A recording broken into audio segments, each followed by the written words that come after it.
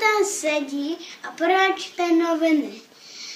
Tak jsem se rozhodl, že ho trošku vystraším a pozvu si sem kamaráda z jedné hry.